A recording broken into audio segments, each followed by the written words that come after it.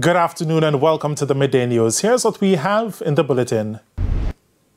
Flash flood watch still in effect for eastern parishes. St. Thomas School ordered closed after structural damage detected. And later in sports, World Under 20 record holder on the shortlist for World Athletics Rising Star Award. Thank you for joining us. I'm Shane Masters, and here are the details. The Flash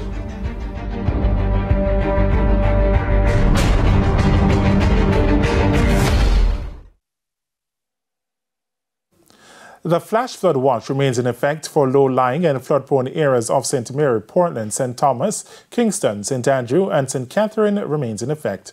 Now, the Met Service says the watch will continue until 5 this afternoon.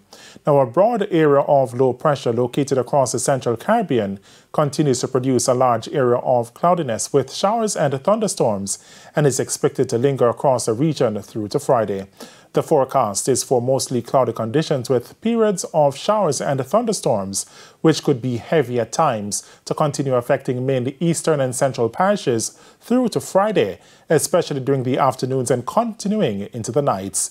Due to persistent rainfall across sections of eastern parishes and St. Catherine over the past few days and the likely soil saturation, any additional rainfall could result in flash flooding and possible landslides.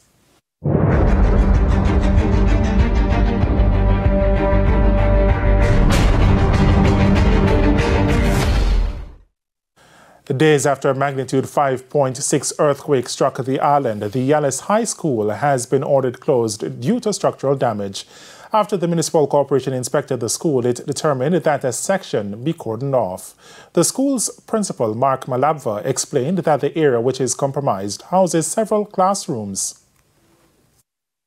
The challenge that we are having is that Block C um, houses the canteen and the our main tuck shop. It also houses one of our R&T labs, um, the lower school bathroom, and the English department. Closing down that block has would have had serious implications, significant implications for the school's operation. In light of this, face-to-face classes have been suspended and students will now have to transition to online for the next few days.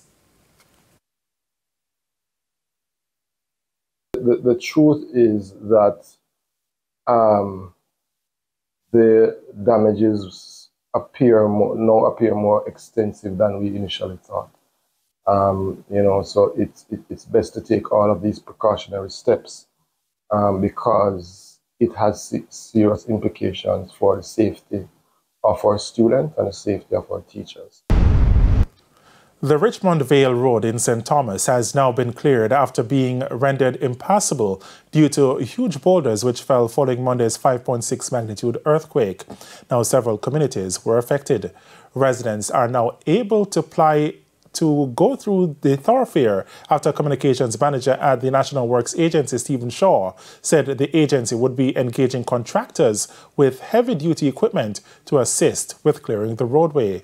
Now, in the meantime, the agency says it is doing all it can to speed up the process in clearing roads in other areas. A council in. Catherine is calling for early warning systems to be placed at all government buildings as one response to emergencies like earthquakes. It comes as Jamaicans continue to assess the responses to Monday's 5.6 magnitude quake. Krista Campbell has that story. When the 5.6 magnitude earthquake shook Jamaica on Monday, admittedly many Jamaicans did not know or remember how to respond. In Clarendon, concerns were raised that while the municipal corporation followed the safety protocols and evacuated staff to designated areas outside the building, next door the parish court and tax office, as well as some schools, banks, and other businesses reportedly operated like it was business as usual. Meanwhile, in neighboring St. Catherine, the principal for Ascot High praised the school's disaster response plan and a recent fire drill for the prompt response of students and staff.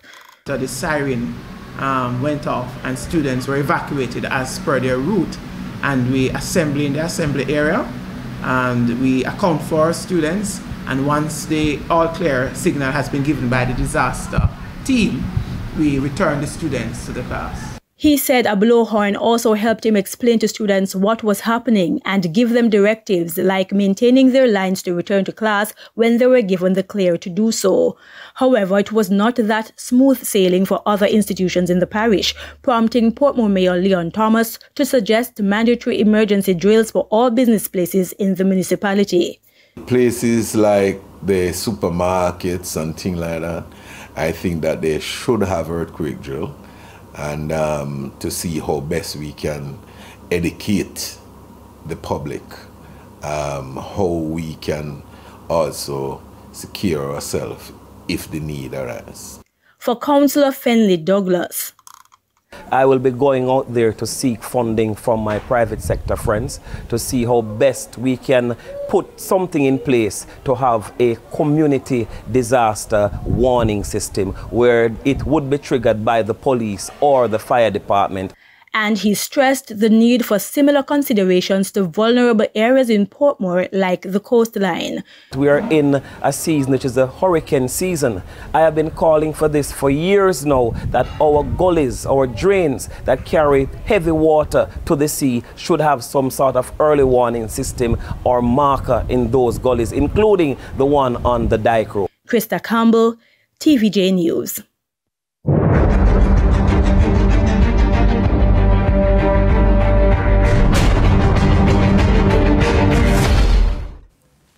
To other news now. The authorities are warning that tough action will be taken against transport operators who do not use designated areas in St. Mary. The transport minister and members of the municipal corporation visited some of the problem spots. The traffic chaos will not be tolerated. That's the stance of stakeholders in St. Mary. They say taxi operators have been a nuisance over the years, but it's becoming more unbearable. Chairman of the St. Mary Municipal Corporation, Richard Creary, says while the requisite infrastructure has been put in place for the taxi operators, it is not used on a frequent basis. He says the longest period of use was eight weeks. But Transport Minister Daryl Vaz, who toured the town centre, says that cannot continue. Hence, he says there will be an expansion of the current transport sector working group to look at the issue in the parish capital. Make sure that we come up with a sustained plan with the buy-in of the stakeholders to return to the transport center to make sure that whatever needs to be done at the transport center is done the shortest possible time. And most importantly, that this is something that will continue not for a week, not for two, not for a maximum of eight, in perpetuity. It's the only way to take back the roads and get the roads off of the road.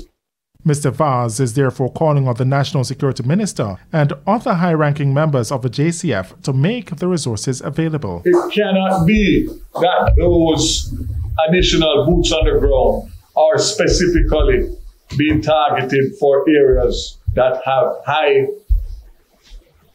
criminal activity. Because what will happen is that these areas that we are not paying attention to, which start out as they start out in indiscipline on the road, will then just automatically get to the point of where we will have to have the same type of police or the same type of policing techniques in these rural townships and communities.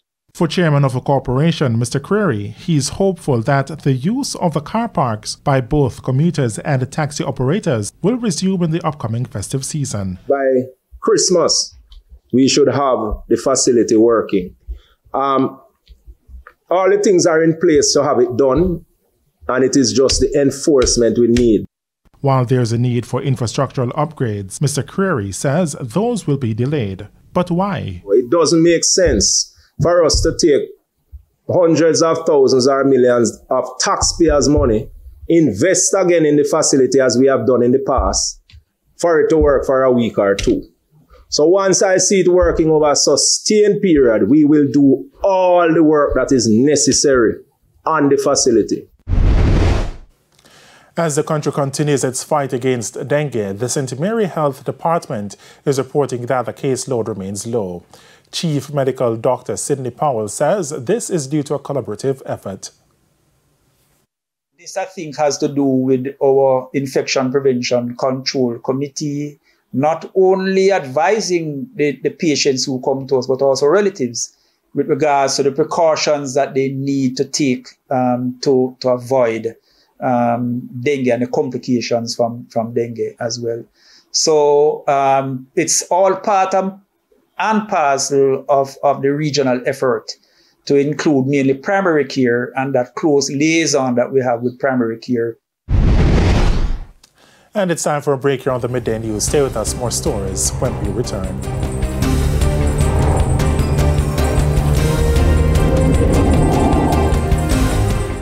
Welcome back to the Midday News. The Caribbean region may not be making progress with poverty reduction. That's according to principal of the University of the West Indies Mona campus, Professor Densil A. Williams. Professor Williams, who was speaking in St. James, says a robust and resilient social security system is needed to ensure the issue is addressed.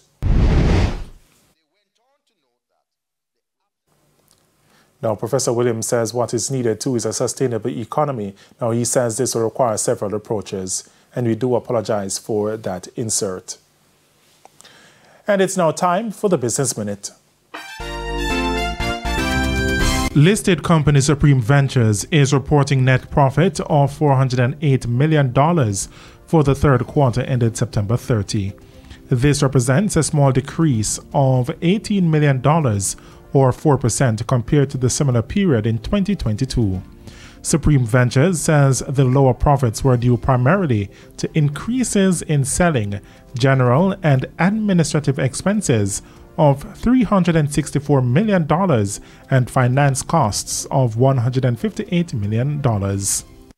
Further afield, the U.S. Federal Reserve announced a hold on its key interest rate in a press conference on Wednesday, Fed Chairman Jerome Powell said interest rates for the benchmark lending rate would remain the same.